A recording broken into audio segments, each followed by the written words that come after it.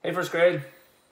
Today we're going to take what Miss Moyer taught us about carbon in our oceans and show how that increase in acidity can have a negative effect on shelled animals like oysters. See, oyster shells are made from calcium carbonate, which will dissolve in the presence of an acid. So let me kind of show you what we've got set up here.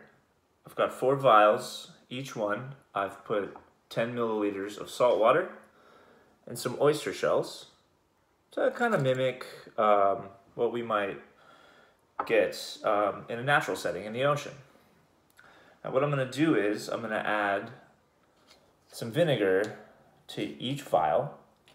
I'm to have one control, which is going to be no vinegar, one vial with just one milliliter of vinegar, one with three, and my last one with five.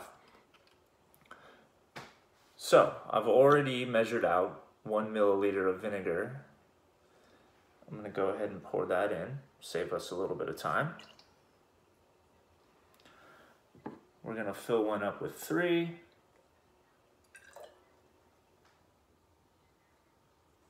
Okay.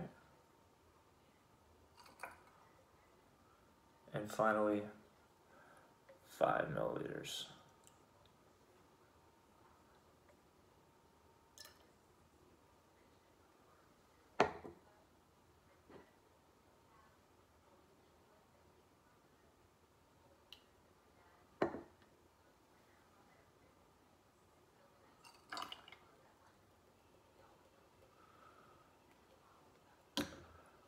All right. So we can already see some bubbling, and that's carbon dioxide, right?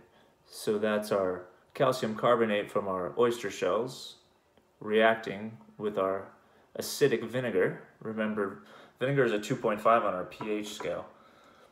And we've, re we've released some carbon dioxide bubbles. So let's check back in periodically throughout the day and let's see how the acid reacts with our oyster shells. See you guys soon.